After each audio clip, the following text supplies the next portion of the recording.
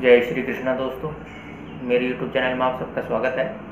दोस्तों, एक और जन्म कुंडली का अध्ययन करते हैं। यदि आप भी अपनी जन्म कुंडली का अध्ययन करवाना चाहते हैं जन्म कुंडली से फ़ीस आपको बताई, इक्कीस सौ रुपये प्रश्न कुंडली के माध्यम से इकतीस सौ रुपये आप कुंडली अध्ययन करवा सकते हैं। ये जो कुंडली है, अमरजीत सोनी सोनी जी, डिटेल जो दी थी, उसका मिलान कीजिए। सत्ताईस सात दो हज़ार एक, समय एक चालीस ए एम स्थान कलकत्ता। वर्ण शूद्र गण राक्षस नक्षत्र चित्रा, अर्थात मंगल का नक्षत्र, तीसरे चरण में हुए। पाया चांदी का सप्तमी शुक्ल पक्ष की थी योग साध्य, करण वाणिज्य। राशि और लगन आपका एक ही है। अर्थात वृषभ राशि वृषभ लगन, तुला राशि, स्वामी शुक्र।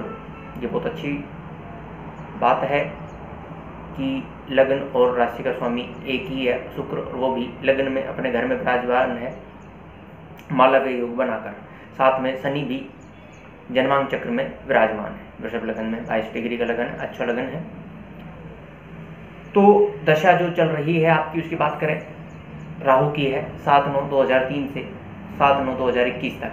अंतरदशा, चंद्रमा की है अठारह दो दो हज़ार उन्नीस से उन्नीस आठ दो हज़ार बीस तक। आपने पूछा आईएएस बनना चाहता हूँ कलेक्टर की अपेक्षा पास उत्तीर्ण करना चाहते हैं सिलेक्शन पाना चाहते हैं।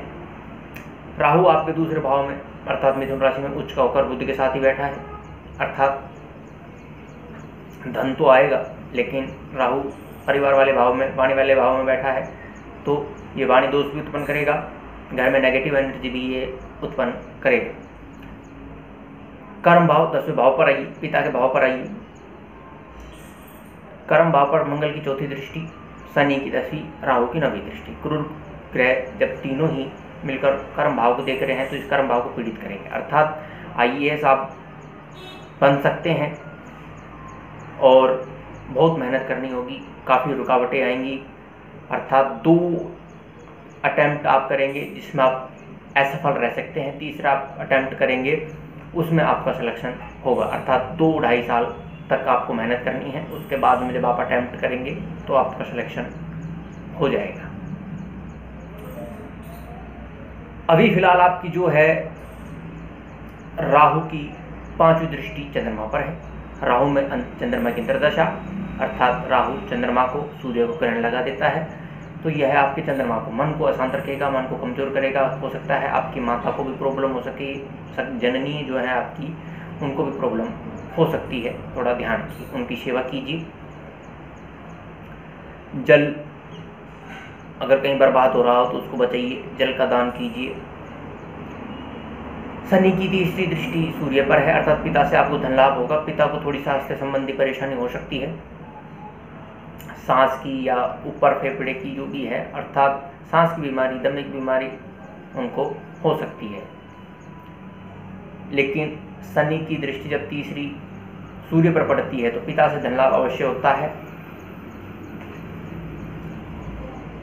तो राहु के दशा चल रही है, उसका आप अगर यदि फ़ायदा उठाना चाहते हैं तो मैंने वीडियो डाल रखे हैं। राहु को कैसे शांत करें, राहु को कैसे पॉजिटिव करें। आपको करना क्या है?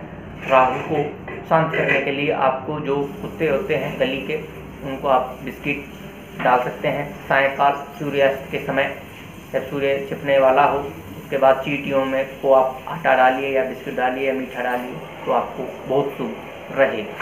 कर्मों पर नीच ग्रहों की दृष्टि पड़ी हुई है तो कर्म आप साफ़ रखिए, नखून साफ़ रखिए, नखून काट कर रखिए, पॉजिट, पॉजिटिव विचार अपने पास ज़्यादा रखिए, मंदिर जाइए मेडिटेशन कीजिए ताकि मन शांत रहे आपका।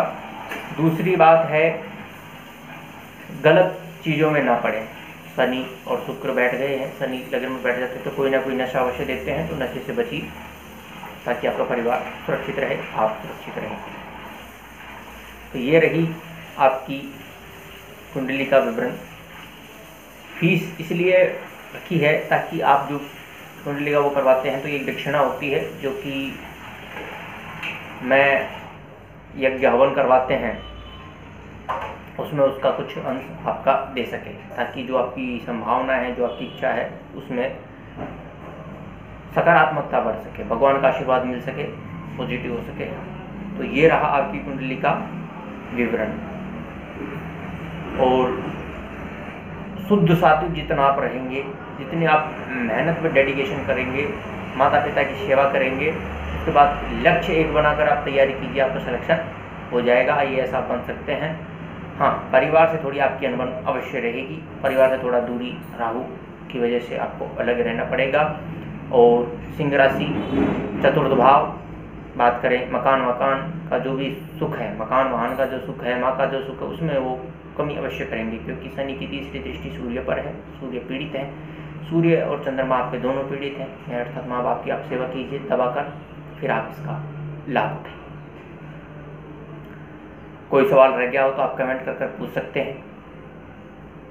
तब तक के लिए जय श्री कृष्णा, श्री राधे।